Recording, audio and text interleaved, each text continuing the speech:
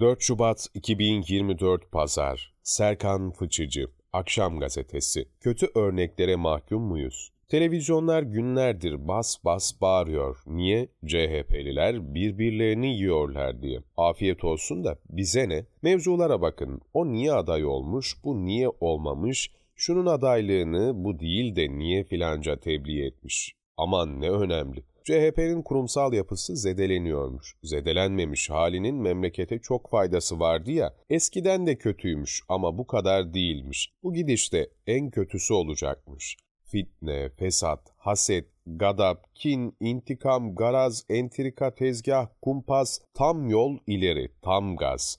CHP'de İstanbul, Ankara karma karışık. Diğer şehirler daha da karışık. Adaylar, aday olamayanlar. Yeni yönetim, eski yönetim. Bağımsız, tarafsız, asla yandaş olmayan 4 çarpı 4 çelik jant, siyah cam, fuller fulü, doktordan temiz, ilerici, çağdaş, layık, cumhuriyetçi, aydın falan filan vesaire. Özetle tüm şahane özellikleri bünyelerinde toplamış CHP'li gazeteciler arasında mahalleyi kaptırma, kaptırmama kavgası. CHP'li kitleler bunlara alışkın, hatta beslenme tarzları bu. Günün sonunda ne oluyor? El birliğiyle gidip CHP'ye oy veriyorlar. Ayrışıp ayrışıp birleşiyorlar. Birleşince sıkılıp yeniden ayrışıyorlar. Başka? AK Parti ve Erdoğan nefretini yaymaya devam ediyorlar. Bunu biliyoruz. Peki Cumhur İttifakı destekçilerine ne oluyor? Böylesine gereksiz gündemlerle yani kötü örneklerle vakit doldurdukları için iyi örnekler görünecek yer, konuşulacak vakit bulamıyor. Hepsi öyle. Tüm başkanlar ve adaylar ama AK Parti'nin İstanbul aday adayları arasında isimleri konuşulanlara bakalım sadece. Fatih Belediye Başkanı Ergün Turan, Esenler Belediye Başkanı Tevfik Göksu,